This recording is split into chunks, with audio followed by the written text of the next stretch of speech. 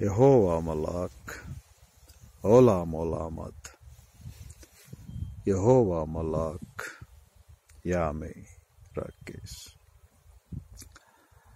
Yehovah Gadol, Macarian Theos, Yehovah Adonai, Yehovah Elohim, Kurios Theos Pantocrator, Kurios Theos Pistos, El Da'et Yehovah, El Emunah Yehovah, Ibaslion Kurios, Otheos O Pantocrator, Basilios Basilion Kai Kurios Kurion, Yehovah Dabar Halal, Elohim Dabar Halal, Yehovah Elohim, Gadol Gadol Gebura, El Elohim Israel, Jesus Christos, Ton Christon Isun Ton Kurion, Kurion Nimahagion Pantocrator, Gadol Gadol Gebura. Zon Logan Ogar Tautios, Doulas Desmios and Despotes Jesus Christos, Kurion, Kurion, Kurion, Hagion, Hagion, Hagion, Gadol, Gadol, Gebura. Yel Nakum Yehovah, Yel Nakum Yapa. Yehovah Ish Malkam, Yehovah Shama. Derek Emuna Bakar, Mishpat Shaba. The megalogai of Yahweh El Elyon Elohim is always alive and powerful, sharper than any two-edged sword, piercing even to the dividing asunder of the soul and the spirit and the joints and the marrow, and it is a critic of thoughts and intents of the heart.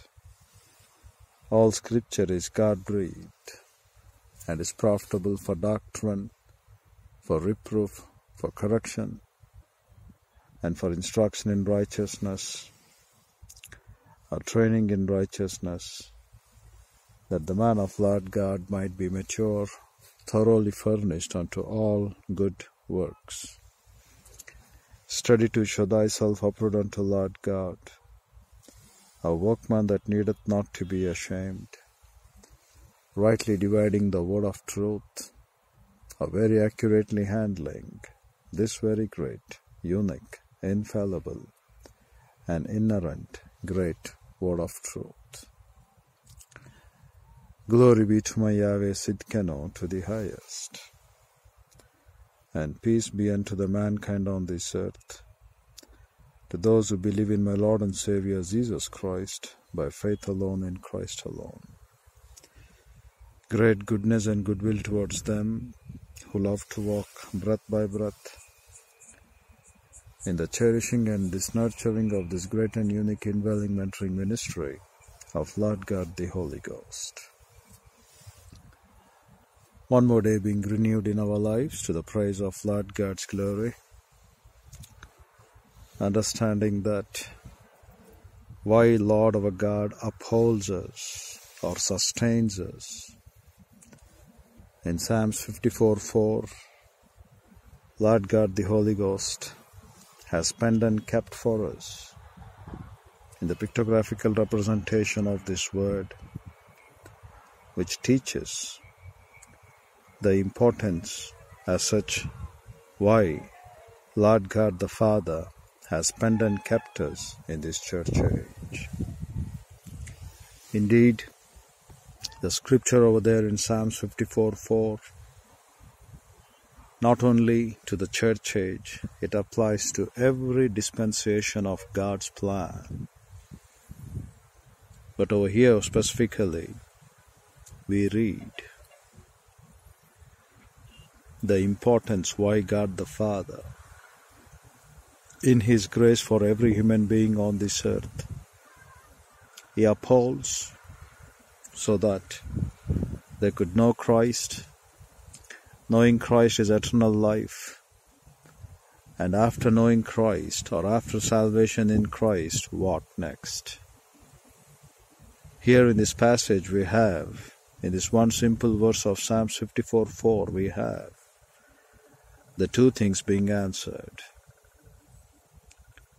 Where is the salvation and who is the salvation? And after salvation, what he does. So, dear brethren, sanctify yourselves to look upon the great and unique pale wonders of this great and unique word of my Christ, which we shall continue after this prayer which God the Father has prepared and kept for us on today's date in eternity past. Using the privacy of your priesthood to rebound, let's learn the mind of Christ over here given for us, which is our life. And since we have been upholded by the Lord our God or sustained by Lord God the Father in heaven, every breath of our life, we should be counted before the men of this perishing world that we are wise and what is wise and how is wise, we shall look after this prayer. Sanctify yourselves to look upon the great and unique pale wonders of this great and unique word of my Christ. Infinitely divine Holy Father, once again coming unto the grace of Lord to learn thy word. Father, we pray that Lord God, the Holy Ghost, would enlighten and challenge us by the things which are prepared and kept for us on today's date, so that we could learn and edify, and be that which is your will accepted on this earth, so that when we perform your will and then we come back into their presence, you could not be ashamed to call that you are our God, but rather you could be. Having a great delight and desire, the way how we took Enoch, to see us back home when we have completed your work faithfully on this earth. So, Father, having to understand these things, we pray, Lord God, the Holy Ghost would enlighten and challenge us by this message. In Christ's name we pray, Father. Amen. Here over in Psalms chapter 54 in verse 4 Elohim is my helper, he says. The word helper is called Azar. And the word over here meant to say, to open up my eyes, to make me to understand to use the weapons, to dig and take or search diligently, or having a consciousness to realize who is true God or what is true God, and thus making in our sense through our head to renovate the standards of our thinking is what the word azar is all about. The first thing in this pictographical representation for the word azar making your eyes to be fixed upon to know after death what? Are you sure that you're going to go to heaven if you don't have Christ? While over here on this earth you have time, diligently seek and search. Maybe from the scriptures or dogmas or the things which you have penned and kept for yourselves diligently search, diligently make a way of that to realize. And if you can find in the scriptures, because Satan has already blinded the eyes of the world of this men, so that they should not see the glorious gospel of my Christ which shineth.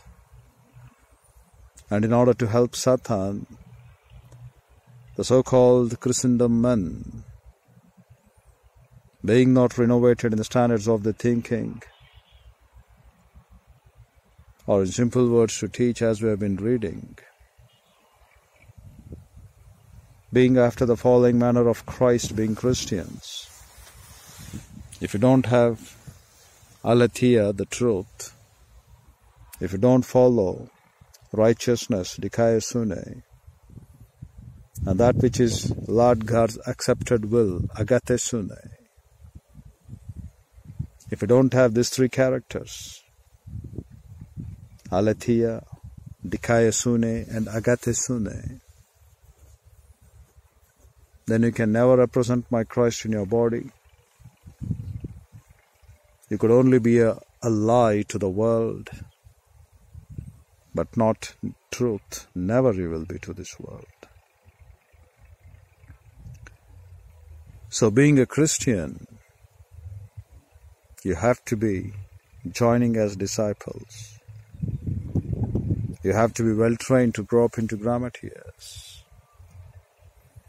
New Testament theologians, so that you could answer back to those people who are foolish and ignorant. In First Peter chapter 3, what we read that conversation. If they would ever ask what is the reason why you believe in Christ, what is the purpose of believing in Christ, your answer should be ready to shut the mouth of these ignorant, foolish people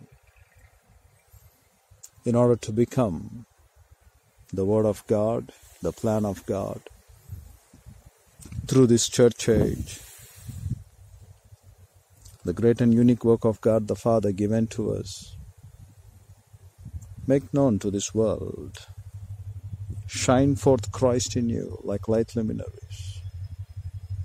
Let them realize that we are not the adult sons of darkness or night, but we are the adult sons of light and day.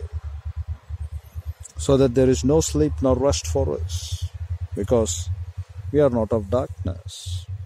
The things they do, they do in darkness. The things they work out, they work out in darkness, but we are the children of light. And the things what they do in darkness, ignorance about the divine things. Not having proper fear, not having proper respect. Such being ignorant about divine things, they lead up into misery and hell.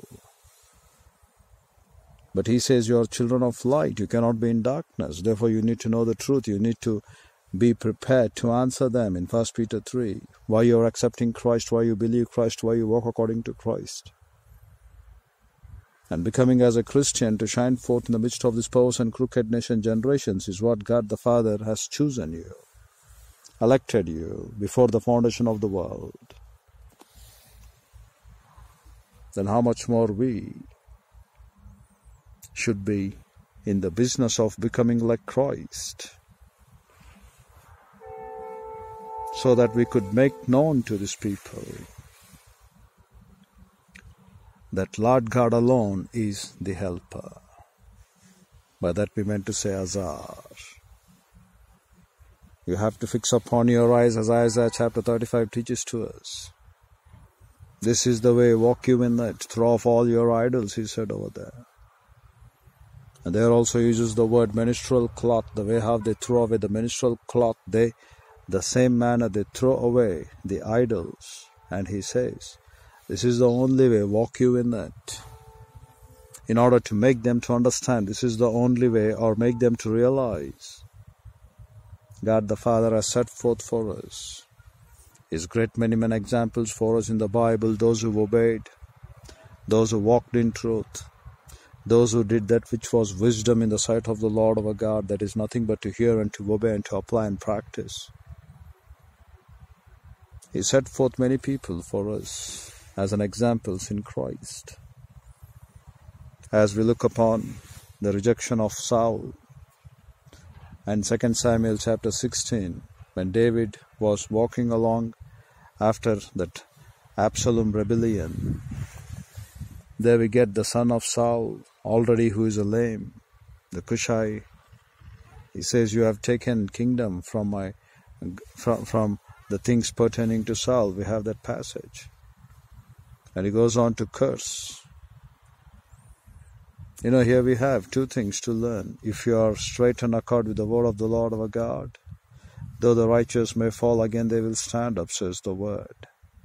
But there, in the case of Saul, we look his rejection over there in doing and fulfilling the work of the Lord in 1 Samuel chapter 15 in verses 18 and following.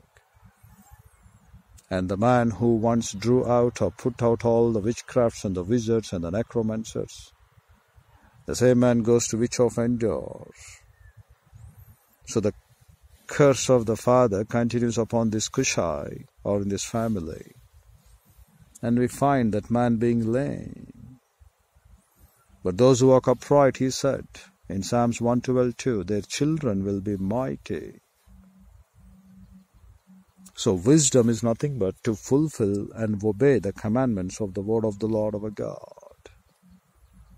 If in your home, if there is anyone who is not successful, the reason is you haven't made them to walk in the fear of the Lord our God, which is called to be wisdom. You haven't made them to understand the right and true importance of this great and unique word of my Christ. Therefore, when they walk without wisdom or without having to shine forth as light luminaries without having to know, to make known to this world to understand that we Christians are the light of the world. Make, showing them the path of true eternal God. And if you're not organizing your character according to the Word of God, then you have been sponsoring or you have been adding a fuel to the schemes and strategy of Satan in this life. Because already Satan has blinded the eyes of this man. He doesn't want them to know my Christ. Now you, when you have failed to show them, when you have failed to make them to dig and take the weapons of warfare, when you have failed them to realize the unique importance, as the Word of God says, to have their brain or head renovated with the proper thinking of Christ. When you fail that, then you are not making them Christ our Lord our God is Azar. But Psalms 54 4 teaches, Behold, God is my helper. And the word Elohim, whenever you look, the pictographical representation number one is Aleph the work of a bull. And the second one is Lamed, shepherd's staff. Whenever you use Lord God, the purpose of Lord God or God which is there for you, Jehovah Elohim, what we call. He gives you in his vigor and valor of that strength or in that energy to make you to be the disciples. Nothing else than that, to make you to be the disciples. Elohim itself, the Aleph energy, Lamad staff, and the word Lama is nothing but Mantano plus Didasco. Elohim wants you all to be the disciples in the vigor and valor of the Spirit of Christ. That's the vigor and valor, of energy. Why we call the representation of the four animals over there, including a man. When we look upon the four living beasts or four living creatures, one of them is a bull. Lion in its might, eagle in its great strength of attitude. Man to synchronize, we read that. And the fourth one being the bull, or the second one being the bull. And this bull, no matter whatever load you put, no matter whatsoever the things which they think it could be hard, bull just carries it. That's the power of the muscles of the bull. Now, Elohim, he puts that load and burden upon us. Therefore, he said in Matthew 11 30 and 31, My yoke is easy my burden is light. He says in very simple words, My yoke is easy. That means the vigor and valor of a bull I have given to you, and you can be my fond ones or philos ones, as the Greek says, because it is not agape. Like Abraham was called to be the friend of God, philos of God. The same thing he said for us in John 15 14. Whatsoever I have commanded, you are mandated you, and if you do that, then you are my friends. That meant to say, I have given you sufficient, a much more than sufficient energy in your body, like that Aleph strength. You do not worry about the commandments, you do not worry about the obstacles, you do not worry about the struggles. If you are my disciple growing up into grammatias, it is I whose eyes run to and fro. And I will kazak you, and I will make you to be with me perfect. That's what we read in Second Chronicles 16.9. So whatever may be the pressure, he says in 2 Timothy 1 7, 1 John 4 4. He hasn't given us a spirit of fear, but He has given us a spirit of dunamai, agape love, sophronismos. In 1 John 4 4, greater is the one that is in us than the one who is in this world. In everything what God the Father has given unto us is something great and unique. So that Aleph energy, that Aleph bull of a power He has given for us in making disciples of all the nations he has given you that vigor and valor to be like the standards of growing up as disciples into grammatias. And these disciples who have grown up into grammatias, they should in return, in order to achieve the work of the Lord or finish the work of the Lord, we read that word, kalal. In the mission given to Saul in 1 Samuel chapter 15 in verse 19, as he said over there in Numbers chapter 14 in verse 6, which is the pain of our heart. We read the word Blite Yakol Yakol, and the word over there, God is not able to deliver them. And there we read, a grown up grammatias who should in return go and make seven disciples, and those seven disciples should become into eight grammatias men again. That's what we find over there in the structure of Micah 5.5. And God the Father gives us this vigor and valor in the strength of His work, in the power of His Spirit. You know, the dunamis power of Lord God the Holy Ghost. It's not just a simple way what you can take upon your tongue and you can say dunamai. No. It's the greatest power. Therefore we read in Zechariah 4 6, not by might nor by power, but by the Spirit said the Lord God of hosts. The spiritual power, what He has given, is something great. So He says, You can go and get and do the things. No excuse. You can make seven disciples because you are grown up into grammatias, and you can make eight principal men.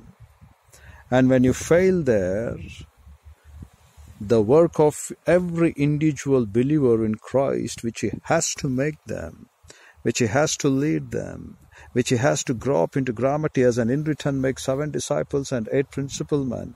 If he fails there, if he isn't doing that, again you stand a witness for Blite Yakol Yakol. You meant to say, God is not able in your life. But the word Elohim, He has given you that vigor and valor. Every believer has been given or been made to be indwelt with such kind of a great power. If you would wake up, that power is given to you only when you are making up your tracks or your life oriented at the maturity of your age, when you reach a maturity, when you reach a God consciousness, or when you reach the fear of the Lord, only in the sense of understanding that we have been given the authority or the exousia power, the word again in John 1.12. You have been given not dunamis power over there, but exousia, the authority, to become the technia children of God.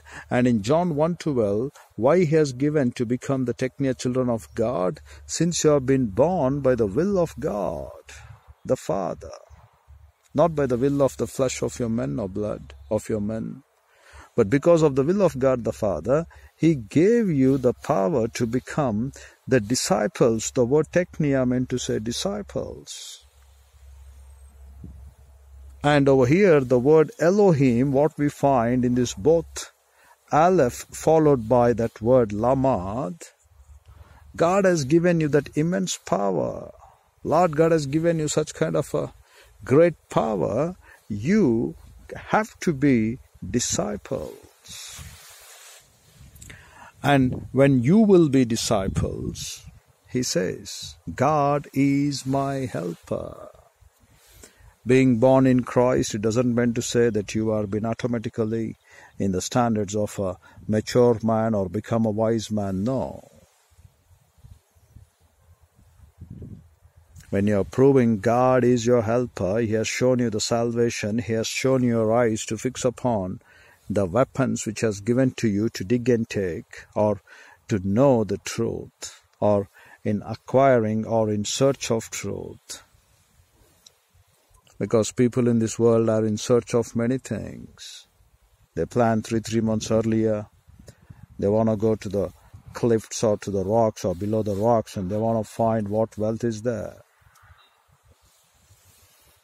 But here, when we come to Christianity, you're searching something of an unending mine of gold wealth.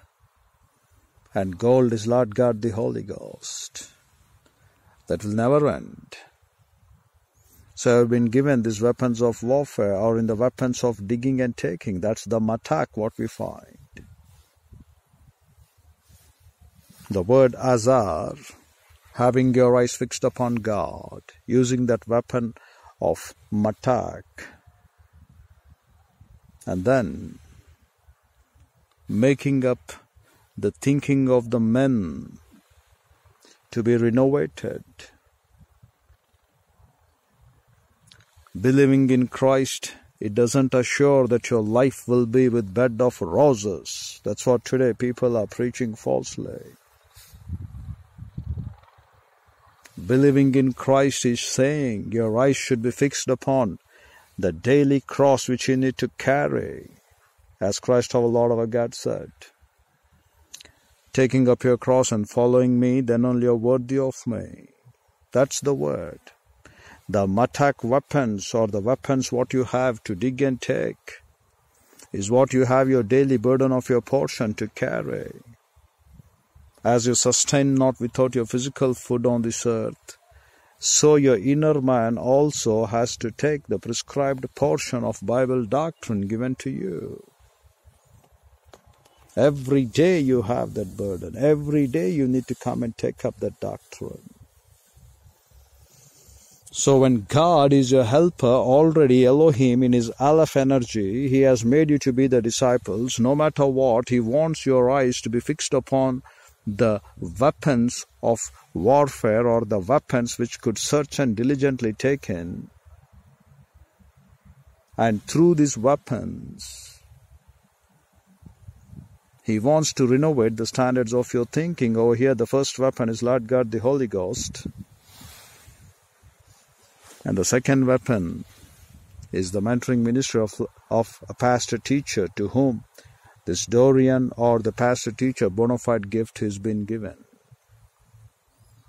Under that process, diligent study of the Word of God, iota upon iota, carrera upon carrera, word by word, line by line, precept upon precept, diligent study. No excuse, dear brethren, if you are not studying in the Word of God, if you are not making up your life according to the mind of Christ. Diligent study is what needed. And God the Father uses those men who are faithfully prepared. Diligent study.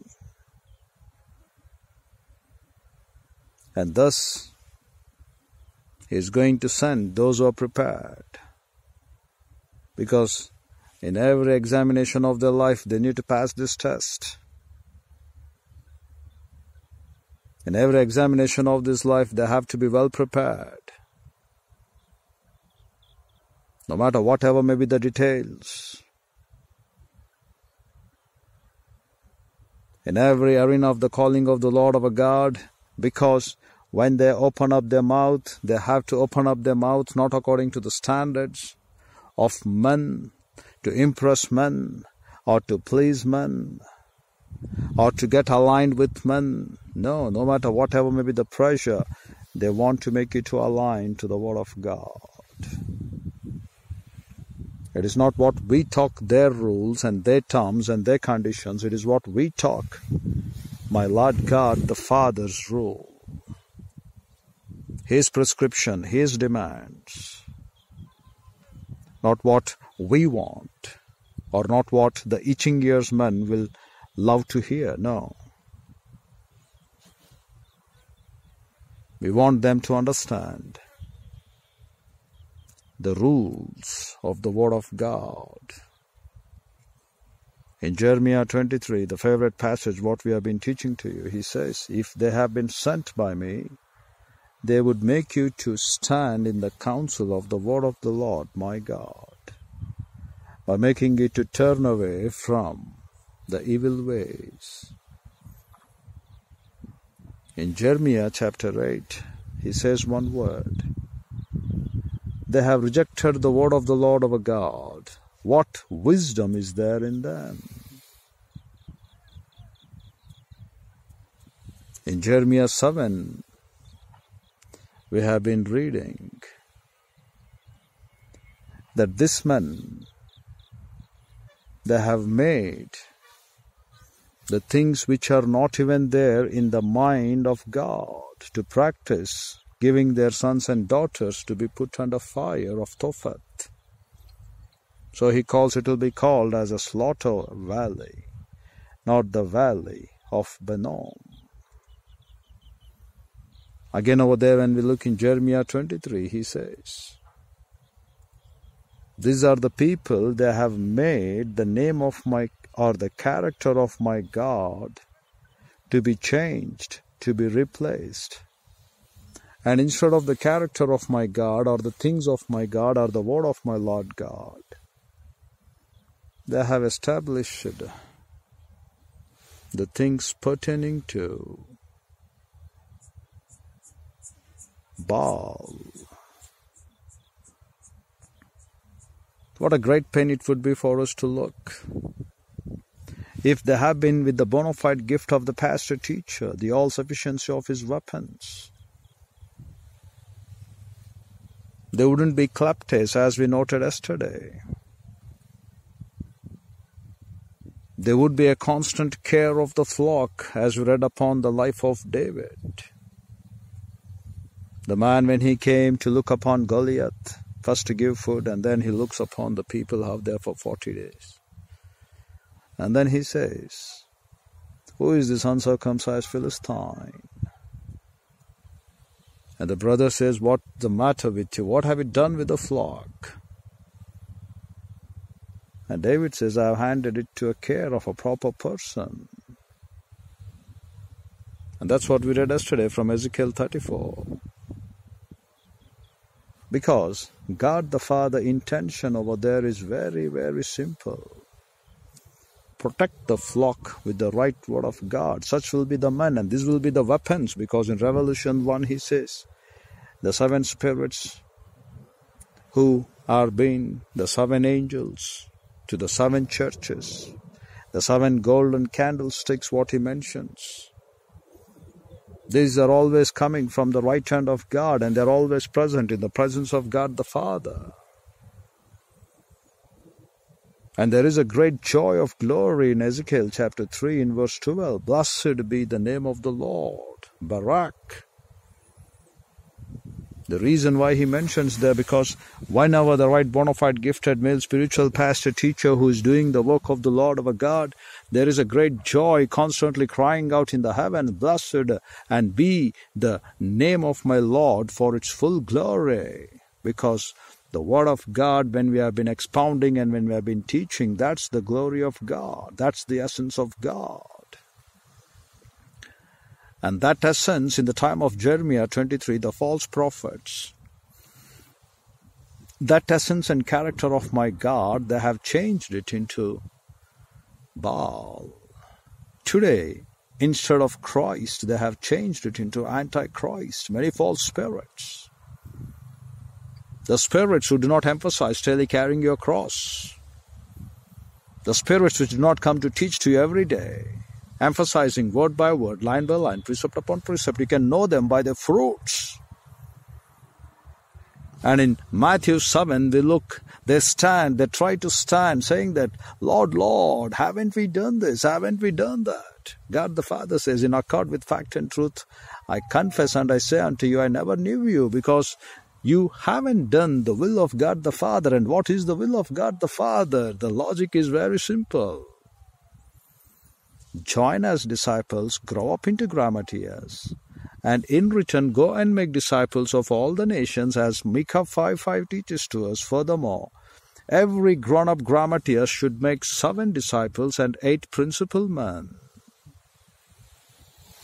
The target is number 15, 7 plus 8. every individual believer should have spiritual children. As in the olden days, some of them they used to have. When we look in the book of Kings, he had 70 children, 70 male, you know. The records about them has been recorded. And they used to say, this king with so many wives, he had so many children, so many children, you know. Now every individual believer in Christ, grown up into grammatias, whether he has his physical children or not, he should have his spiritual children at least minimum 15 as we look seven shepherds and eight principal men those shepherds are the people who would guard the word of God, so you make them to grow up into grammatias, seven. And those seven grammatias should be again followed by eight principal men who will be the frontiers, who will be the entrepreneurs to go ahead in establishing the mind of Christ in the pulpits. Every believer should have minimum 15 spiritual children. And that's the duty. That's the work of the shepherd. That's why he trains you up. That's why God the Holy Ghost has penned so clearly carry up your cross every day, follow my Christ, then only you are done the will of God the Father. Tomorrow, no doubt, you may cry out, saying, Lord, Lord, I ate in your presence, we drank in your presence, we heard your word in the streets. But God the Father would say, I never knew you who you are. Brethren, you need to wake up, as we have been illustrating for you from Revelation 21 8 as well. The second death, how you would escape the second death. Loving lie, the last point over there, loving lie and making a lie. The same thing he writes in Revelation again 22 in verse number 4. We find that. The people who love lie and make lie anything which is not there for you in accord with the character of my Christ, with the essence of the word of the Lord our God, anything what you're practicing in your pulpits which is not in accord with the mind of Christ, dear brethren, that's a lie. And if you're not coming every day, Proverbs 8 34 through 36, to stand at the doorpost of the temple of the living Lord our God and to learn Bible doctrine, if you're not coming every day, if you're not making that to be your practice, then you are a liar. Be careful about your second death. Every day you have been said to carry your cross.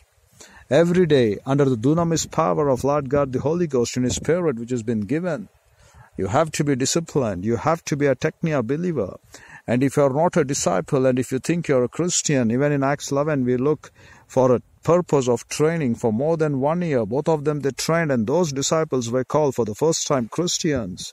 And today, people have forgot the word of discipleship, even in the translations of English. They don't say, go and make disciples. They would say, go and make Christians. We are really not able to understand why they have changed these words. the essence what we find in the original Greek. He says Matthias. In Acts 14:21, in spite of being put to death or almost all put to death by the men of Antioch and Iconium, when he comes back from that death of a way of a life, and there we look upon his record in 2 Corinthians 12 1, 14 years ago, a man in flesh or not, we do not know. The Rhemata declarations, what he has heard in the heaven, he said those things we are not permitted now to teach. But rather he says now very, very important words. He goes now, first evangelism, that's what God is my helper over here in Psalm 54 4. And then he says the very second thing. Matatias hikanao. Oh. It is not as many as the disciples were been taught. No, he made them to be rendered fit. The same thing over there, what we look in Colossians 1 2 and hikanao oh, into the inheritance of the saints among the light. That means to qualify you to render fit till the time you could be perfect. And what is the word perfect? He writes over there in Colossians 1 24 through 29, teaching them the word, even the mystery doctrine, giving them the complete discourse of the mind of Christ, what he has done in Acts chapter 20, verses 24 through 32. That's perfection, that's salilios. And he wants you all to be complete, plero status quo. Till they all could come to perfection. That's what hikanao is all about. And there you find only one verse for Acts 14:21 to be a cross reference, which is Matthew 28:19. Because in 28:19, go and teach, make disciples by teaching to them all the things which you have been taught by the word of God. All the things, no compromise, all the things. You haven't even thought and Lord our God over there in Luke chapter 24 on the way to Emmaus when he's teaching to his two disciples. He first teaches them from the book of Moses and then the prophets. He started to expound to them about Christ. People today foolishly they say, who want the Old Testament, stupid fellows. If Old Testament is like a Adama or a man, then a woman who cometh out from the bone of an Adama or Isha will be the New Testament, and they both are complete. That's what the Bible is all about, like the Old and New Testament. Christ our Lord our God knows the importance about the prophets, about the teachings of, of this Moses. Because the power of Lord God the Holy Ghost is the same and in the mission work of his in the standards of his in the standards of his gospels he taught referring back several times as it has been written. He claims to those pharisees and scribes how have you read what have you read? And people today don't understand the wisdom of the lord. So god the father in His grace provides. The dorean gifted that to male, not female, woman is never been authorized to stand against men, to have authority over the men and teach. And people may claim, why can't a woman preach? You have the tendency to add and delete as in the life of Eve, what we have looked. Though the word says, You shall not eat the fruit of it, she said, You shall not even touch the tree. And as Lord God, she has to address my Lord with great respect. When Satan says God, woman also follows God. And the importance, what you should stress, Surely you shall die, said the Lord our God, and she says, Lest you shall die. And besides that, in her metamorphisms, from where earlier she was recreation and now she becomes procreation during the time of her monthly menses. She cannot come to be in the touch of the holy things. That's what we look in the Old Testament. She has to be outside. And Albert Barnes, in his commentary, when he writes about the divine parchments If a woman during the time of her monthly menses, if ever she has been touching them, better to burn them off, he says, rather than she would defile. And the ministry of the word of Lord of our God for us in the church is so clear. Every day you have to teach. Every day, every day, every day. It's not weekly ones as these people they're following and practicing. They are making once again the same mistake of the prophets, what they have done in the time of Jeremiah 23.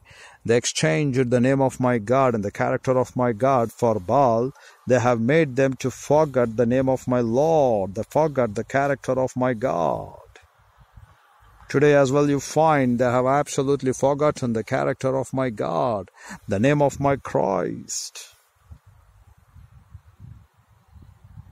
If they would have followed or they would have remembered the name of my Christ and the character of my Christ, every pulpit would teach day by day, word by word, line by line, precept upon precept, because even the prophets, what he has sent them, he says he sent them by rising them up early. Every day they would come and pronounce you the looking into the character of Christ.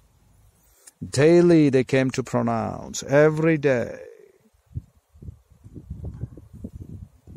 and if the work of the Lord our God is every day day by day word by word then how much more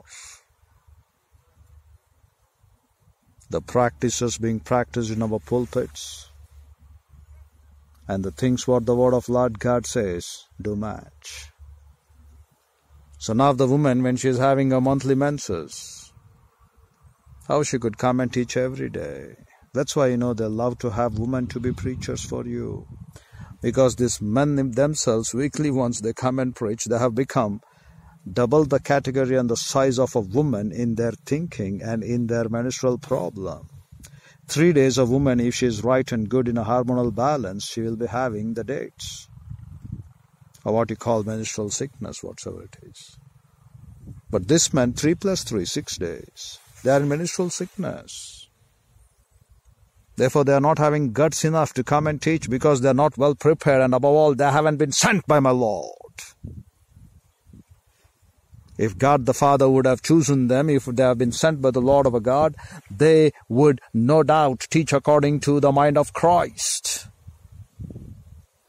They would use this all of energy to become the disciples. They would make them to understand. Fix your eyes upon the instruments or the weapons of warfare what God the Father has given and go back to renovate the standards of your thinking because believing Christ is not the end. Believing Christ is the beginning for this great heavenly life of, pluri- of politeum of privileges which have been given for us.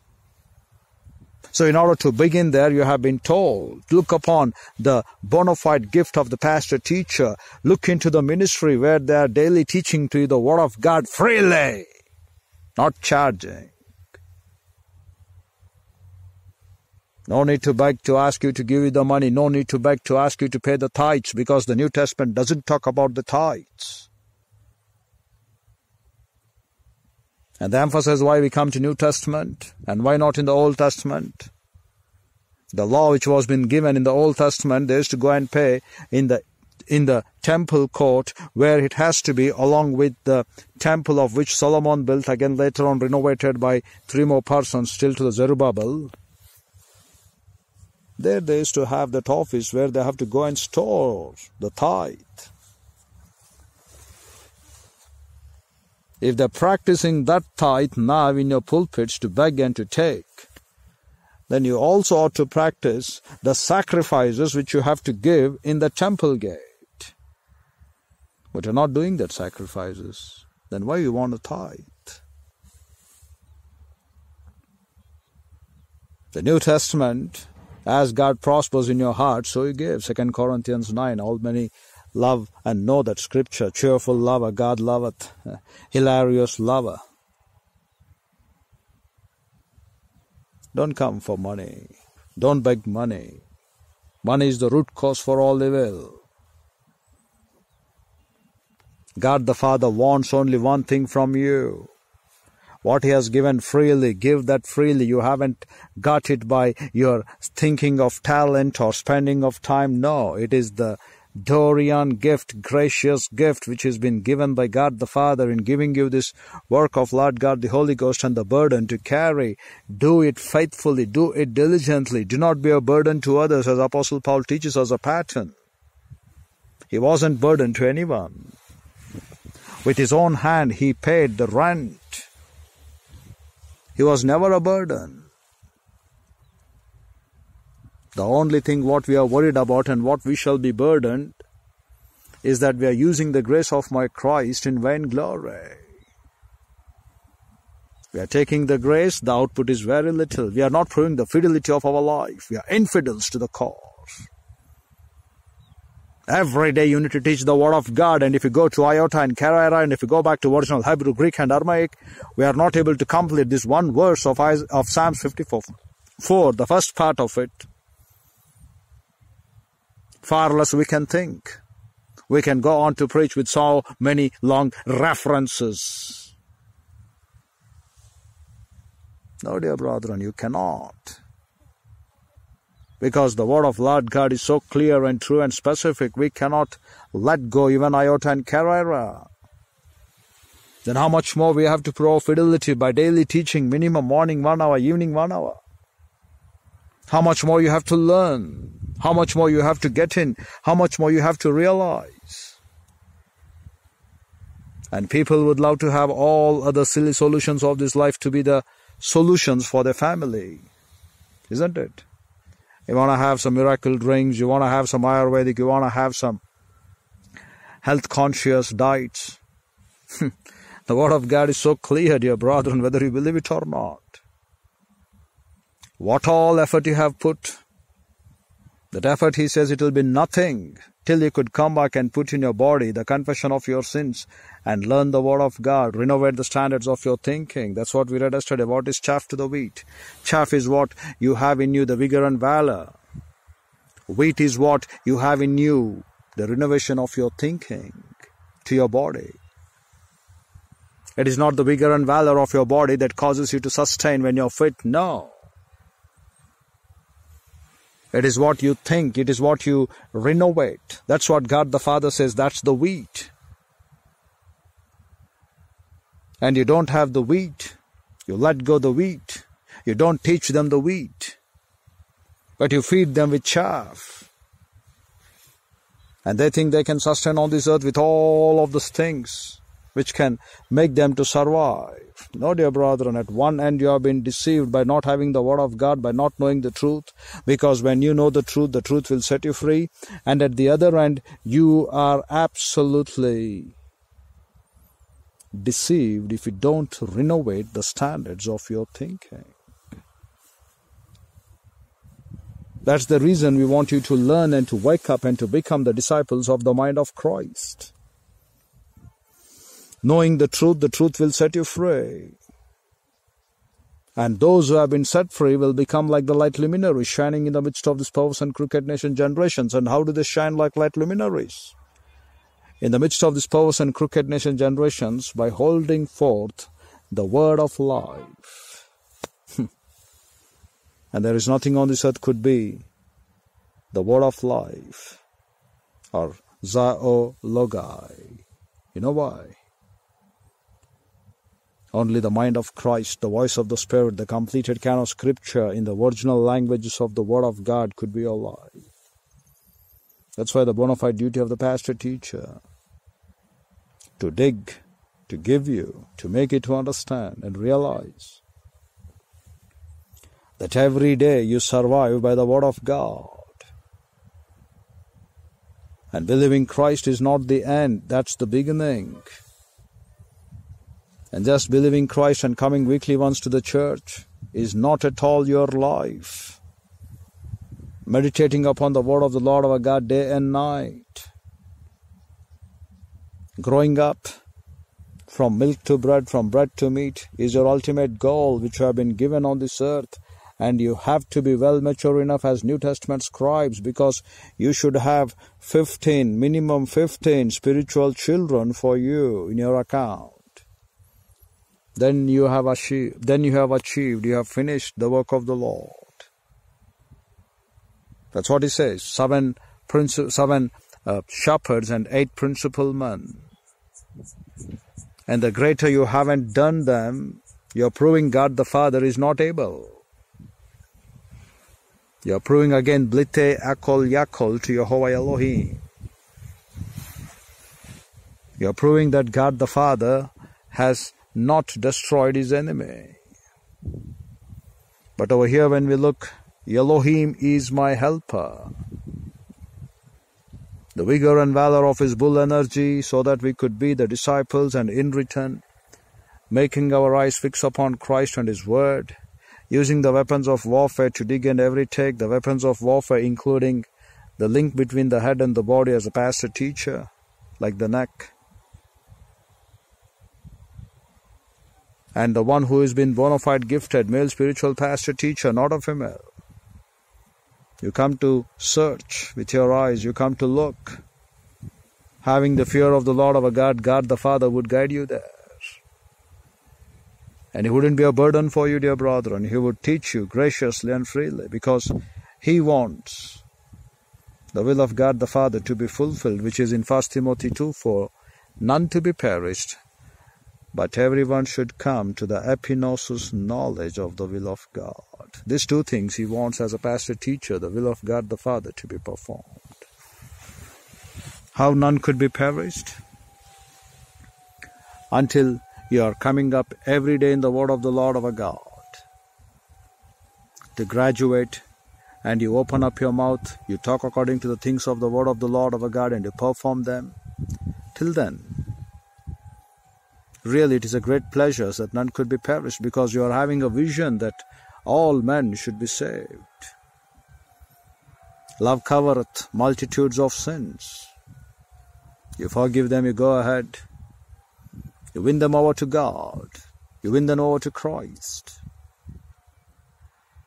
That's how you have over there the word. Because none should be perished. At the same time, you shall not be a stumbling block to others. But rather, the drinking water which God the Father, which springs up in you into eternal life, He has given through the Word of God. You should be alert. You should be growing up. And you should be springing up.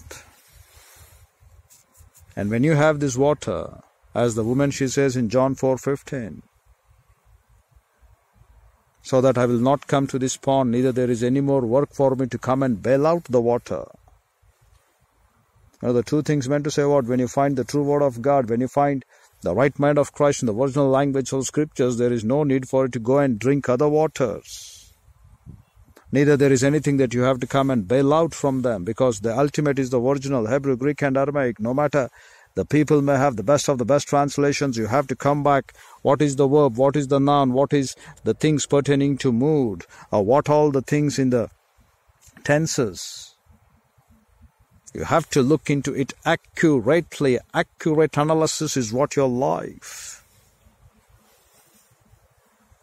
Accurate analysis. And the greater you fail to accurately analyze, the Word of God and understand that for your thinking, the greater you are depending upon the hearsays of this world. And you cannot build up upon your feelings or your emotions, which is not of a solid ground to build up a firm foundation. The feelings, the emotions are not. You should have that which is solid as the word says, heaven and the earth will vanish off, but his word will abide forever and forever. So it is. The solid, firm foundation is the word of God, the mind of Christ. And that's what you have to fix your eyes. So this is the first part what we find. God is my helper. Elohim Azar. And then the next part he says, the Lord. This is who you know it is called to be Adonai. Who is an Adonai? He is a mediator, he is a church. And who is the mediator? Lord and Savior Jesus Christ. Because this judge is the door of life because he is the one who restores life. He is the goal of one that rules or judges, which is to bring a pleasant and righteous life, pleasant and righteous life to the people. And he would deliver as one who restores life to his people. That's what a judge or a mediator or Adonai is all about. Adonai Eloheinu, Adonai Echad, when they cry, they are looking for this judge. Christ Jesus, our Lord, of our God, is one. He is the one who would restore back our life. He is the one who brings to our life pleasant and righteous things. You want to have anything which is of a pleasant and righteous in your life, dear brethren, search Christ. As he writes over there in 1 Timothy, between God and man, one mediator. That mediator is my Lord and Savior, Jesus Christ. That mediator is called over here to be Adonai. And He is the one who restores life. He is the one who goes to give you pleasant and righteous things in your life. That which is upright, every good and perfect gift which cometh from the Father of lights. That's the reason. To restore that which is pleasant and righteous. Every perfect and accurate gift comes from God the Father because He knows what is there. He knows what is the fact. He knows what is the truth. And we have such kind of a great Lord of a God given for us, calling to be Adonai over here. And he will uphold my soul. Do you know why does he uphold? And what does he uphold? He upholds your soul. Why? Because soul is the process which has to be renovated. Soul is the thinking which has to be changed. Your mentality, your volition, your emotion, your norms and standards. Your soul has to completely change. And if your soul doesn't change, your outward appearance may appear to be glowing because men look only outward, dear brethren, but God, but Lord God looks your inward. So people may be happy to look at your outward appearance. But God the Father upholdeth your soul. You know why does He uphold your soul? the word for uphold is very, very simple. It meant to say samak, S A M A K. And that meant to say to support. That meant to say to sustain. And it meant to say to have for you favorable circumstances so that you could be established, you could stand fast, you could sustain. You know, he has this. So he wants you to sustain. Why? The pictographical representation of it will give you the answer. You don't find that in this word samak.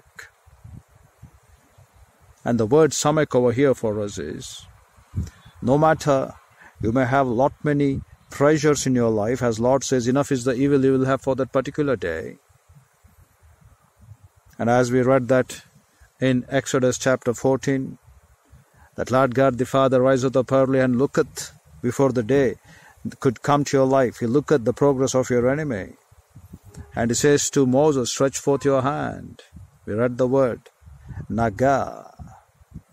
Make a rattling sound through the word of the Lord our God. Make a rattling sound through the verses of the Bible. Doctrine your mind. Being fixed upon the word of the Lord our God. Make up your life to be pleasant and accurate. That's what it teaches over there. So we look in very simple words. No matter whatever may be the pressure, enough is the evil you have for your particular day, he says, do not worry. I am there to deliver you out. Because already God the Father has paid for us in full. So He's going to make for you a favorable circumstances depending upon your heart, the motivations of your thoughts, imaginations behind your thoughts. And what does he say over there? If your heart and your thoughts and your imaginations match really to the glory of God the Father, He would make everything feasible for you. everything favorable for you because you are now inclined to know my Christ. So, whatever may be the pressure, and the pressure which runs in your blood, that's what it says, the second alphabet of it.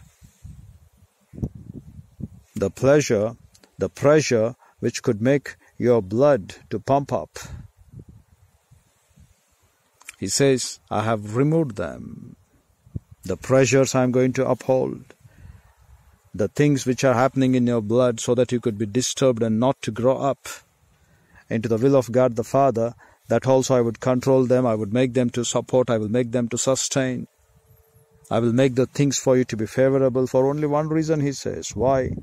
I want you to look like a scribe. That's the palm of your hand.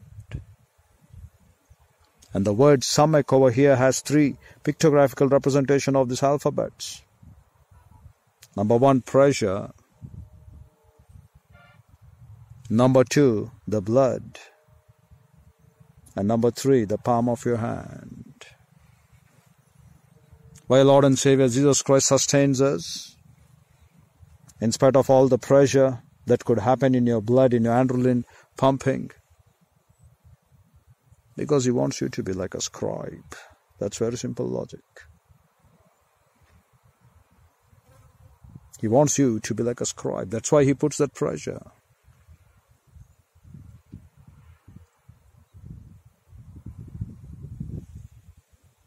But many are not recognizing Adonai, Lord and Savior Jesus Christ, who came, who said, As I have overcome the world, He prayed for us. I pray, Father, they are not of the world, but they are kept in the world. Preserve them from evil. Because He said in John 17, 4, they are kept the truth. Preserving them from the evil, He says, sanctify them through the truth. The word is the truth. Such a great life, what Lord and Savior Jesus Christ, being a role model and a pattern for us, having in us the sperm of Christ, He says, Walk in me. Walk according to the standards of the truth that I have set forth for you. Do not deviate from this truth. You will have pleasures. You will have in your blood the things which are against the word of God. So he says, Not worry. In spite of that, I samak, I uphold you, I, I make for you a favorable circumstances. For what reason? So that now you can grow up into grammatias. That's the very simple logic why Lord God the Father keeps every believer alive in spite of all the pressures of your life. Therefore, if Lord God be with us, who can be against us? Do you think is there anyone who can be against the word of God, against the mind of Christ, against the power of Lord God, the Holy Ghost? Therefore, he says in 1 John 4 4, Greater is the one that is in us than the one who is in this world.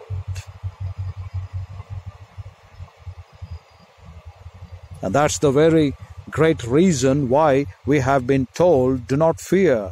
It is Jehovah Elohim who goeth before you to fight the battles of the Lord.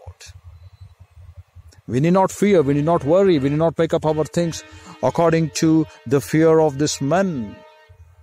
The pagans, the way how they work out, he said, they look upon for the food what they eat, they look upon for the bread what they eat. But he said, You do not fear. You have for you Christ.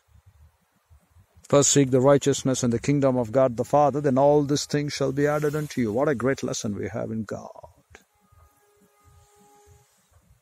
As the word we have been reading in Hebrews 12 2, looking unto the author and finisher of our faith, Christ our Lord. The same thing Peter, when he was looking in Christ and he was able to walk upon the water. When he removed his eyes, he was sinking in the water. The same thing with us. When you remove your eyes from the word of the Lord of our God and you be far away from the word of the Lord of our God, which is the only water for you, from your salvation, from the mentoring ministry of the Lord God, the Holy Ghost, and from the ministry of what you have over here. The word of God, Ephesians 5 26 to 27 or 28. You have on this earth waters which are able to sink you. But we have only the water, the Word of God, which is able to build you.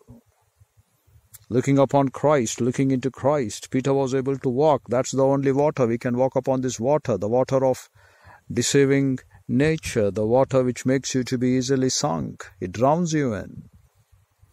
In order to be walking upon the waters, in the sense the teachings of this man, the teachings of this world, the teachings of this cosmos thinking, as we read that from Lewis Perry Chafer, volume 2, in page number 99 and 100 about Satan. What all you have over here, all the thinking of Satan, starting with infotainment, starting with your sports, starting with your channels of every mannerism of TVs or serials or having your movies. You know, man is built upon this. They have been stuck upon such waters.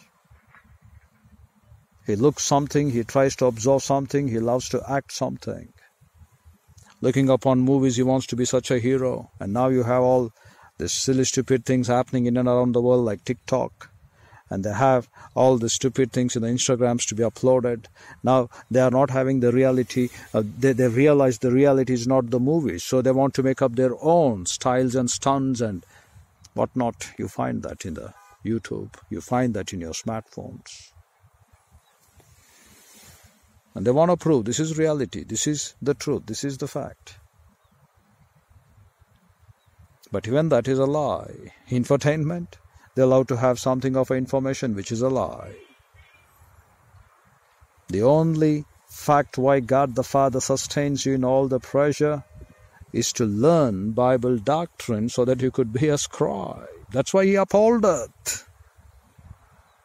If you're alive tomorrow, it is the will of God the Father that He wants you to grow up into scribe because you're already a disciple believing in Christ.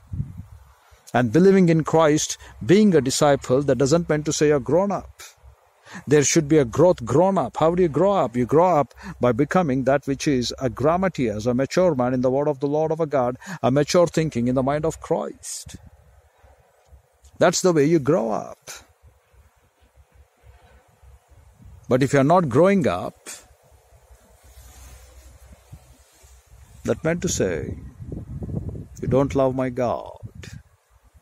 And there is no way why Lord God the Father should sustain you tomorrow. Yet he remembers us that we are of dust, even the best of the best are worst in the sight of the Lord. Yet he comes up with grace so that he can find in you to be like a penitent sinner and you confess your sins and get back to the work of the Lord. For that cause he sustains you. You are enjoying his goodness.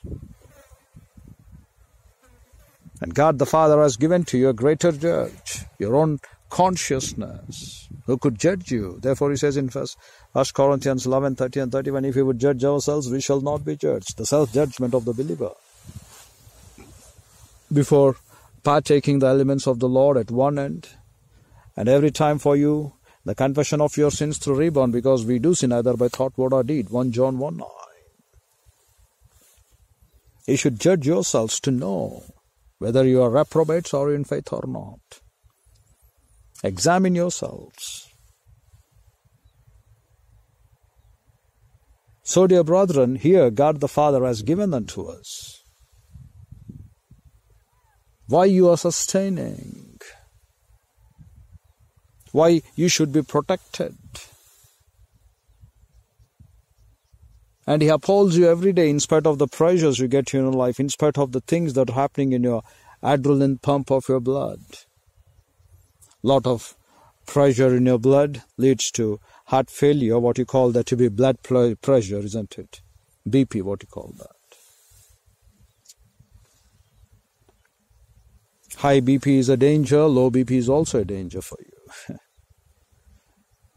High diabetic is a danger, low diabetic is also a danger for you. Because your thinking is rotten inside. You're not able to realize why have you been sustained by the Lord? Why He samaks you? You haven't understood why He samaks you, why He protects you, why He makes you the favorable circumstances. And you love to have your own oh, world running along to say, This is what I do, I will be better. This is what I take the medicine, I will be good. The only medicine for your life on this earth is the Word of God, dear brethren. Whether you believe it, take it, consider it or not. The only medicine is the mind of Christ. He sustains you on this earth for the very purpose, in a very simple way, what He teaches. You have to join as disciples and you have to grow up into grammatias. That's the way and the reason why He sustains you. Joining as disciples, growing up into grammatias. That's the way He sustains you. That's the way He protects you. That's the way He does His work and you have been so foolish and ignorant even to understand Matthew 13:52 joining as disciples and growing up into grammatias grammatias are the people who write the word of the Lord of a God who are the New Testament theologians that's the Greek word grammatias and the theologians are the people who are well aware about the word of God not in the knowledge of your head but in the knowledge of the fear of the Lord of a God in obeying His mandates, in fulfilling His work. People know very well knowledge puffeth up. they become headstrong. The fear of the Lord of a God, the greater you know the knowledge, the humbler you become because you realize not many men doing the work of the Lord. And you become like a weeping prophet. You cry to them out saying, Come back and look what is the right will of God. Don't waste your grace. Don't waste the time which has been bestowed upon you. Perform the mind of Christ. Look unto the glory of Christ. But you don't believe that. You don't look into that. And you think you're sustaining because you're fit.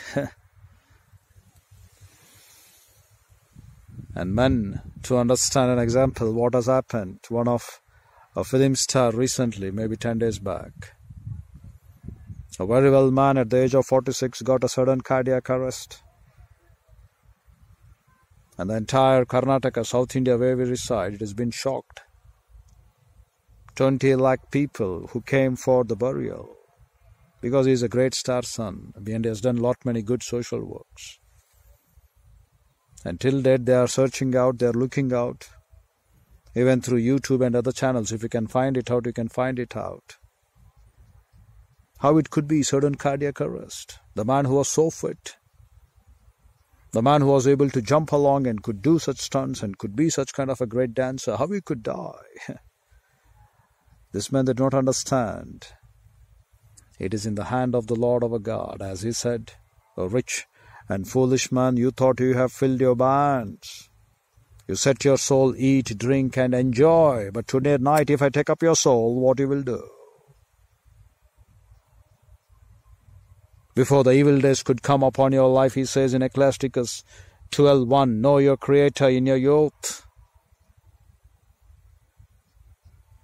And God sustains you to give you grace to believe in Christ. If ever you have believed in Christ, He says the second work for you Come back and grow up into grammatias. Take up your cross every day. Follow my Christ if the ministers, if they're blowing the trumpets properly, if they're making the work of the Lord our God to happen it properly, it would be a great delight and awesome thing to look. Even such unbelievers having great faith in reality of the truth and the holiness of the life what we walk, even they also have the fear of the Lord. That's what we find over there in Deuteronomy 4 6 when he says, The nations will come to know there is not such kind of a great nation which is wise and understanding because they have unto them the word of God and knowing the Word of God is your wisdom.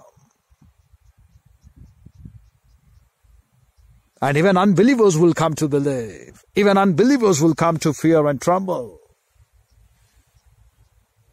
But the men who are pastor teachers, the one who should blow the trumpet, if they don't make a proper sound, sound, as it says in 1 Corinthians 15, how they would be prepared for the battles. That's what it is happening today. And such kind of a man whom to be noted as innocent in the sight of these people in Karnataka or South India where we say, or the Dravidian terror or terrority where we say.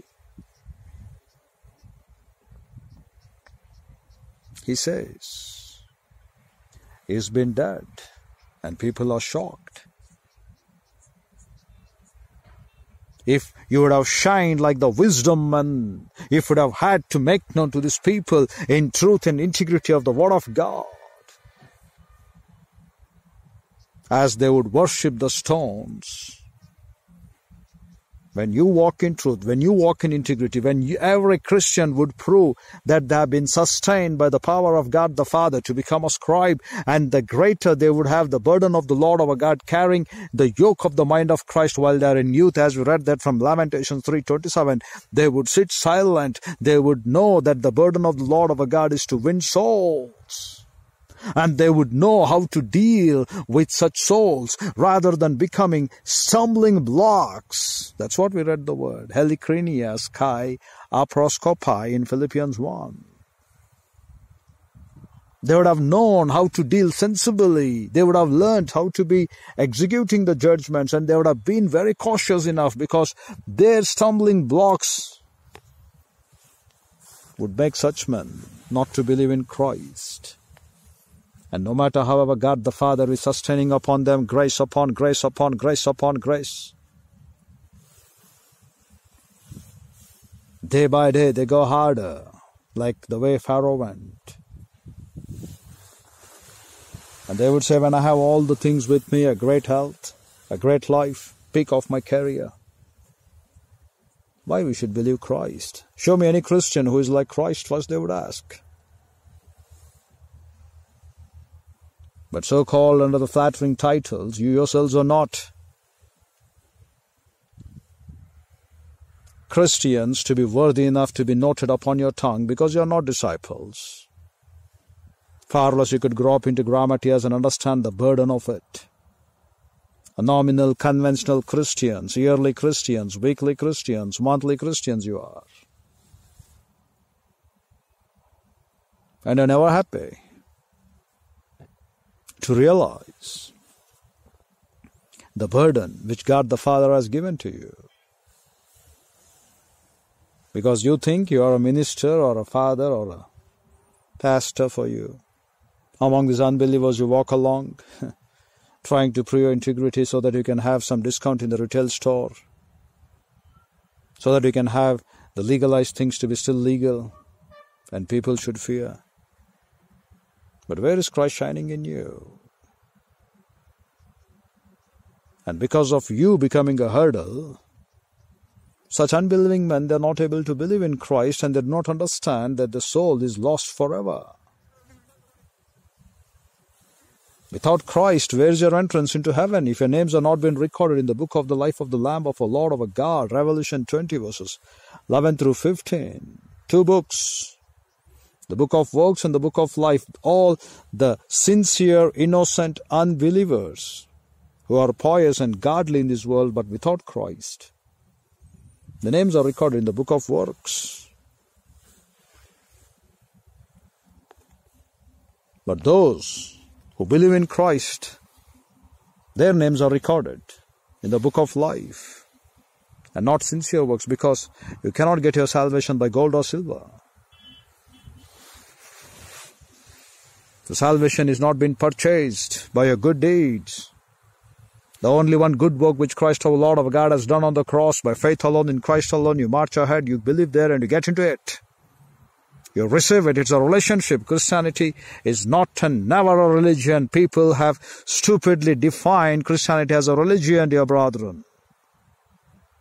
Christianity is a relationship with God the Father by the saving work of Christ Jesus our Lord, our God on the cross, what He did for us. That's Christianity.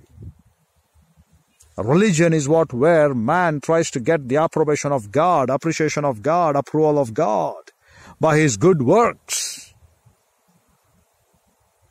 But all of our good works are a filthy rags, says Isaiah 64 6. But the logic over there is not filthy rags. All our good works are your menstrual cloth, menstrual sickness of our orientation. What do we do with that? The translators fail to translate it correctly. It is menstrual sickness. So your works are in your book. You are entered there, but not in the book of life, and whose names are not been written in the book of life they're destined to eternal lake of fire. And that too perpetual forever. Whether you believe it or not, dear brethren, the words that have been you may say those words are recorded for you in the bible so you talk about the bible but what is bible? Bible is the mind of christ. Bible is jehovah elohim itself. He is its revolution of him. And heaven and the earth will vanish off but his word abideth forever and forever. That's the bible you may love to have it or take it or not we don't care because we walk by faith and not by sight. Even you may say, Who has come from the dead to know? You have a parable for us in Luke 16, the rich man and the Lazarus. And God the Father has shown through His Son resurrection 40 days over here how they would be in the resurrection body. Is there anyone with such kind of a resurrection body or such kind of a molecular structure in any among your gods on this world? No one, dear brethren, except my Christ. Therefore every knee shall bow, every tongue shall confess before Lord and Savior Jesus Christ that He is the only Lord of a God, and the sooner the better you wake up why you have been sustained in this grace, why you have been samak. And Lord God the Father all the time samaks your soul. Because what you think and what you do according to your soul, that's what your body acts. Now your soul, before believing in Christ, is neutral. After believing in Christ, it is having a partner, activated human spirit, or the spirit which goes to live with God the Father forever. And now this human spirit is being in return interlinked with Lord God the Holy Ghost, so that we have been said, do not grieve, do not squelch, do not wax, do not lie, do not resist, but rather all the time, if ever you live, you live in the spirit. If ever you breathe, you breathe in the spirit. If ever you peripata or you peripatao in the spirit. If ever you make your progress, make sure that all the time you're having in a marching order in the fellowship of Lord God the Holy Ghost because that Lord God the Holy Ghost will teach to your human spirit. In return, your human spirit can teach to your soul and your soul being transformed from human viewpoint into divine viewpoint. Now your body would become pious or you so be unbeliever, diligent enough for any, any type of trial or persecution so that you can win Christ through your life and make minimum seven disciples and eight principal men. Therefore, God the Father samaks your soul, not the body, not the things pertaining to ruach. But the word over here, what we find is nepesh. And the soul is nothing but every vigor and valor of your mouth when you go through the proper process of munching. And soul is the whole person of a body, the body, the breath, the mind. He takes care of the vigor and valor, the virality of you first. The breath through your mouth and the munching process, your mind. These are three things what we find. Your soul takes care of your body, your soul takes care of your breath, because whatsoever the things that you eat will not defile, he said, but the things that come out from your heart is what it defiles. The evil comes there from your heart. And now you have what? Your mind, your munching process. In your mind, he says, think upon doctrine. According to the word of God, you live. If not, he's going to whip you and lash you out because of his hatred and punishment, since you're not thinking in your mind the word of God. As your body requires food, and food is for the belly, and belly is for the food, as he said. The uh, food is, the belly is for the food, and the food is for the belly. So your body is there only now to get in the Word of God. That's why you have been sustained by the grace of God in His soul. And by that time in every individual believer in Christ. So the vigor and virality of your body, the things that you open up your mouth to breathe in, and the things pertaining to the munching process of your mind God the Father makes his judge or Adonai, which is Lord and Savior Jesus Christ, to samak or to protect under any pressure in your blood so that you could be growing up into a scribe. So, dear brethren, in Psalms 54 4, behold, be careful, he's going to inspect Ra'ah Take a very careful look. Because people may think we are talking about the Bible. No, dear brethren, we are talking the Creator, the one who created you. You may be unbeliever, you may be a believer, we don't care. Bible is the Creator speaking to you. Whether they may be meant to be alive to take it or they love to consider it or not, we don't mind. But Creator is what he says. Behold, Elohim is Azar, is my Azar, is my helper. And the very second word, what he teaches to us Adonai Samak Nepesh. And why does he protect you? He says in Deuteronomy 4 6. So that you could understand the reason that you have to be a wise one, you have to be a great one, you have to be the one which the word of Lord God demands. And the nations in the world should understand that we are wise and great in understanding because we have for us the word of God, the mind of Christ, the voice of Lord God, the Holy Ghost. So he teaches over here for us in Psalms 54 4. What shall we then say to these things? God for us, who against us? The same thing in Psalms 111, verse 6. The Lord God is on my side, I will not fear. What can man do unto me? In 118.7, the Lord taketh my part with them that help me. Therefore shall I see my desire upon them that hate me. The desire of them that hate you all the time are the fallen angels. Because they know you shall know the doctrine, you shall trample their head, Satan, under your feet. Therefore, they hate you. The only one that hates you on this earth is Satan. Besides that, your own flesh, which is ignorant, to carry you across every day and follow my Christ. In Psalms 118, verse 13, you have thrust sore at me that I might fall, but the Lord helped me. And over here we find in First Chronicles 12:18, then the Spirit came upon Amasai, who was chief of the captains, and he said, Thine are we, David, and on thy side, you son of Jesse.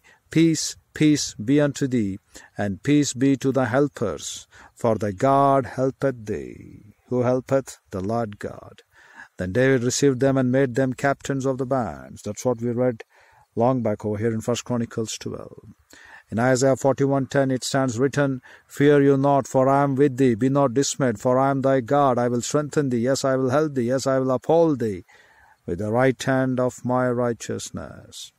In Isaiah 42:1, which we have to exegete, he says, Behold, my servant whom I uphold, my elect, in whom my soul delighteth, have put my spirit upon him. He shall bring forth judgments to the Gentiles.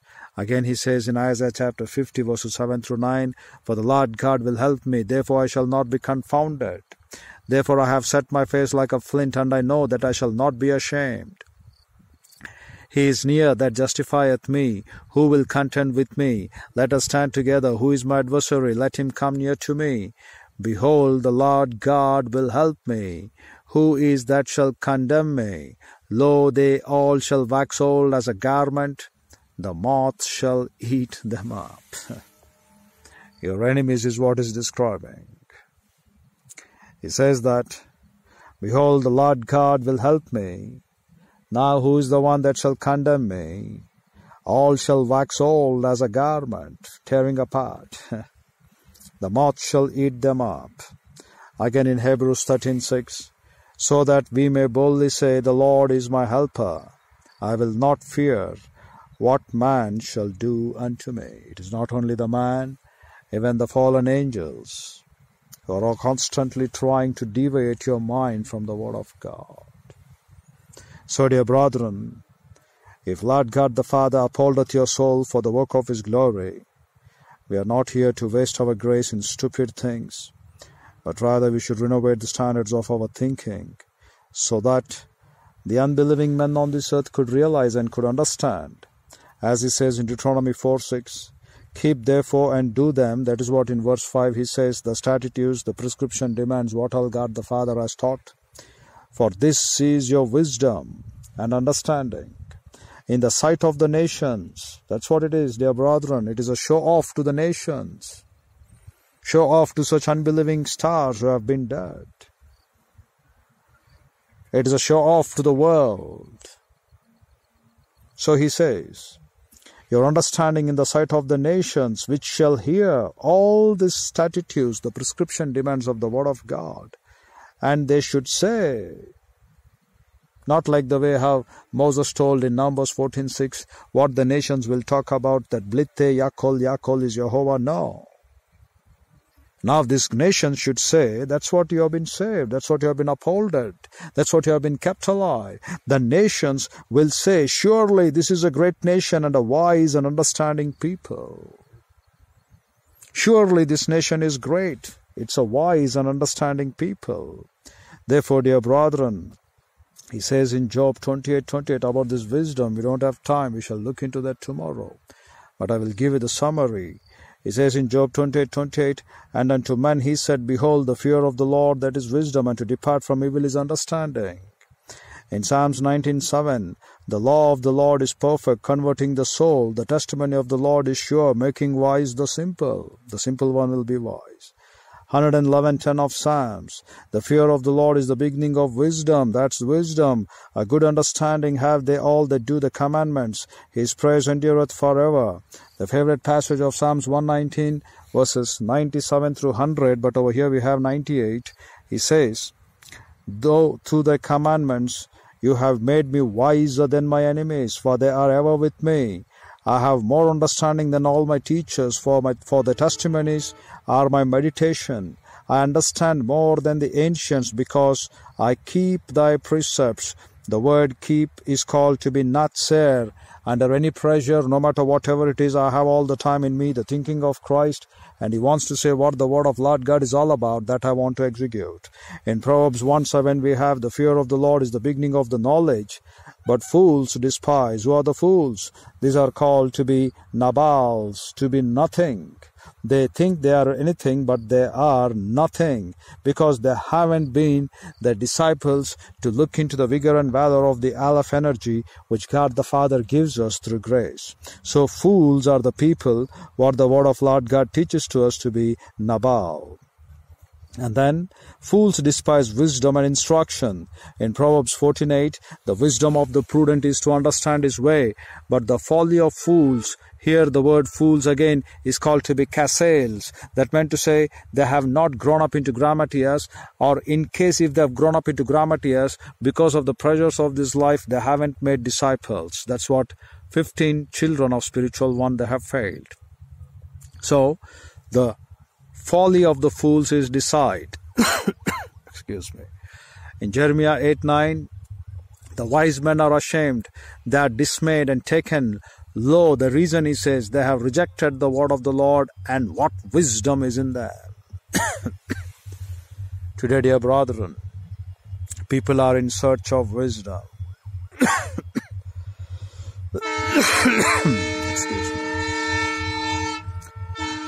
But the true wisdom is the word of God. So here, as the fools who have despised the wisdom, so much of the present Christendom are looking to be in the standards of such heavy ill nature. The Hebrew word heavy ill is nothing but foolish nature. So to be without anything such as nothing these people they are. Even such the present Christendom is running. But they don't have the wisdom of the Lord. In Exodus when he says, I have given them the kakma, he has given them the instructions how they have to do. And the very next word, what he talks about the wisdom, is found for us over here in Deuteronomy 4 6. And from here on, we look the people who have rejected wisdom. Even in the New Testaments we find in 2 Timothy 3:15, wise unto salvation. And the ups and downs of the people who have rejected wisdom, who haven't believed Christ. So all these things he records there for us to teach us the importance of the mind of Christ. And yet God the Father comes up with His grace every day to samak you for the reason to take care of your soul. To make sure that your soul believes in Christ. And to make sure now, after believing in Christ, having in you the activated human spirit, which is to grow up in grace and in the knowledge of Bible doctrine. And such are the men today who have been found in our pulpits, not being born again yet, yet they try to come and teach the Word of God because they think it's an intellectual thing, they think they can read the way how they read news editors. You know, the news editing men, they want to have some subject to read. So they think they can take care of the Bible and they can read because it's a printed news. but really, they don't have the burden of making disciples of all the nations. Neither they make the men of the churches to grow up into grammatias. Because these are kleptes who don't have the care to instruct you, but rather they break down your confidence and they make you to believe, to lose your confidence. And why you come to the church, having your party difference in the church, ex committee party, present committee party, unfair elections party, again renewing the same committees and parties, you know, all the stupid things. Yourselves are hurdles to your own men, far less you could be a light to unbelievers. And the men in the pulpits today who wants to say that they will be the authority of the church, like the committee members, falling behind a helpless woman, constantly seeking and searching them to hug, asking them to hug.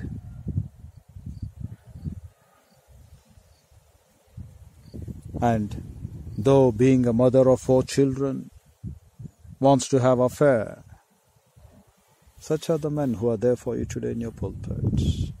Where is integrity? Where is the truth? And how will an unbeliever believe in my Christ? He would say Christianity is good, Bible is good. Because of the evidences of Christians for whom Bible hasn't transformed, the Bible hasn't made them to metamorphose how they could be. You know, what you reflect back in your life, that's what you prove your God. You reflect back in your life to unbelievers when they access you. They would say, Your God has transformed you only so much. You're not pure in your morality, you're not pure in your talk, you're not true to the words of God. So they would say, if I also would come and join your religion, I will be also one among like you, but I will not be the person what the things pertaining to the word of God is exactly demanding you. That's what happens, dear brother. It's very simple logic. Looking upon you, they would say they reject Christ. Christians are worst. Christianity is good, but they don't come to read the Bible because they think if Bible could do such an effect for a believer in such a way, what effect it could do to me?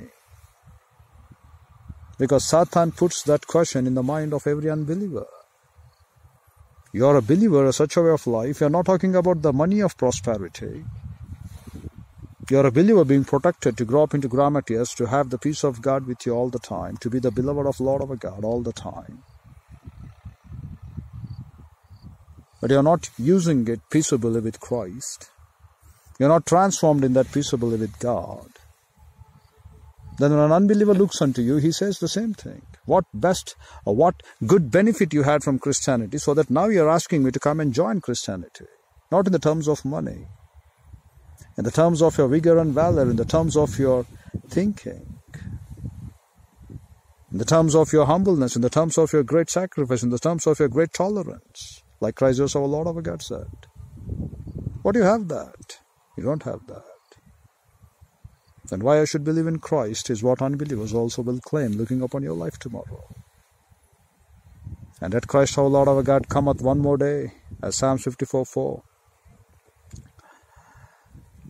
Elohim Azar, Adonai Samak Nepe.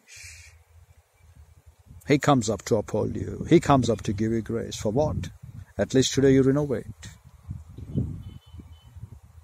Today is the day of salvation, as he said. Today you renovate. Now is the time. Don't postpone it. The greater you reject to look into the truth, the greater you reject to become wise, the greater God the Father will raise the question as in Jeremiah 8 What wisdom is there in them? They have rejected the word of God. Lo, they have despised the mind of Christ. Dear brethren, think over these issues as we shall come back and continue tomorrow as Lord God the Holy Ghost leadeth us to the praise of His glory in His grace. With our head bowed and eyes closed, the closing moments being dedicated to those who are here without Christ, without hope, and without eternal life.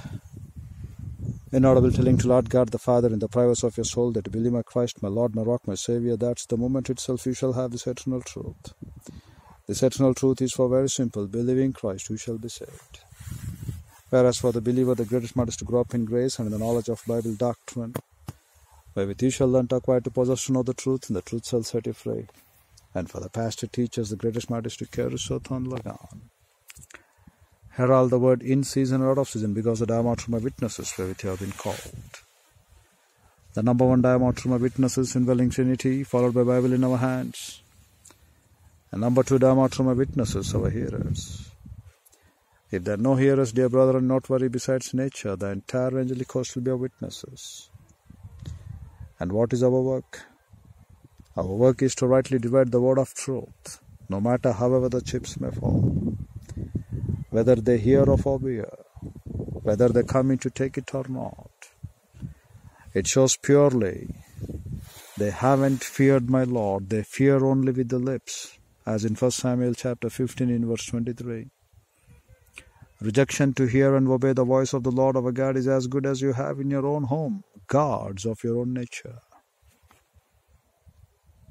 So we come and ask you again and again fear God, give that glory which is due unto Him.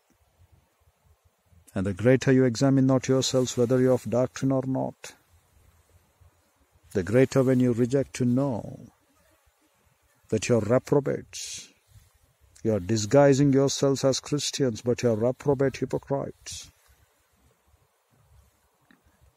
And that reprobate hypocrites are also found in the realm of what you make yourselves to be in Christianity as pastor teachers. Those who handle the word of the Lord our God, if they themselves are corrupted, how will be the church? That's what we find in that Wilmington Guide. Till to the 15th century, it sought to have an attack upon the Bible, but it could not. Then, from when the theological colleges have been started, so the attack upon the men who would teach the Word of God, upon the standards not falling to the mind of Christ. So he records over there in his page attack upon the pulpits, attack upon the seminaries.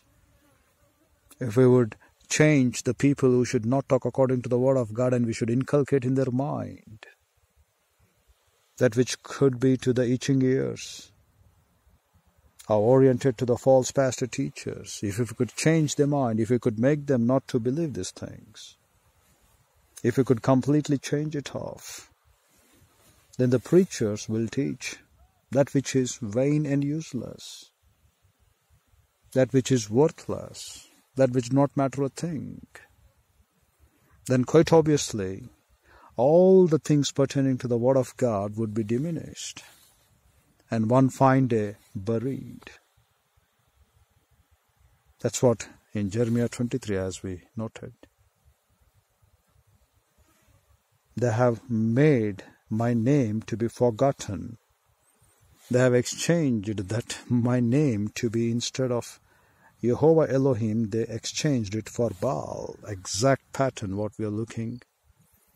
Because the ministers who are coming, being trained in theological colleges, are not burdened to rightly divide the word of truth. Though they have been sustained by the grace of God, they may be great in the sight of men, you have to be great in the sight of God as faithful ministers handling the Word of God. The greater you reject, the greater you neglect. You may be thinking day by day you may pass down the grace of God according to the lusts of your flesh. But at the judgment seat of Christ you are answerable. What have you done? Dear brethren, be careful. Do not let go the valuable, matchless grace of Lord our God for the filthy lucre of your lusts, but rather rebound and get back to the will of God the Father according to His glory. So, dear brethren, think over these issues.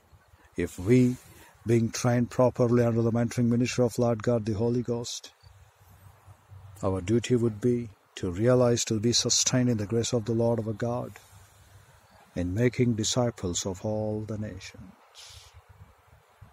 And people may listen to these things or not, but God the Father knows to keep this as a witness and to make you all to understand what is the burden of the Lord, the Master Lord of my Christ, and making you all to be grown up grammatias, and in having in your life for every individual believer seven disciples and eight principal men. Dear brethren, think over these issues as we shall come back and continue tomorrow. Infinitely divine Holy Father, what a great and unique privilege it is, O Lord, to have fellowship with Thee, O Lord. Your infallible and inerrant word in Psalms 54 4 Behold, you are going to inspect. And we are making them to realize, O Lord, Elohim is our help. And Elohim, Lord our God, who has been the salvation, who has been all the time for us through Christ Jesus our Lord our God. He, in the form of Adonai, is the upholder of our soul. So, dear brethren, Elohim Azar and Adonai, as he goes to protect Samak, our soul, Nepesh. We are thankful for this great work by Lord and Savior Jesus Christ so that none should be perished, but everyone should come to the thorough knowledge of His work.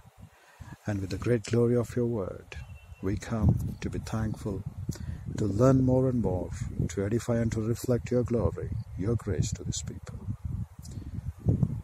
To this extent, Father, we pray that Lord God, the Holy Ghost, would enlighten and challenge us, and to go ahead to realize if God could be for us, who can be against us?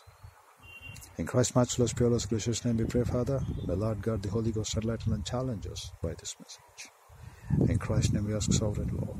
Amen.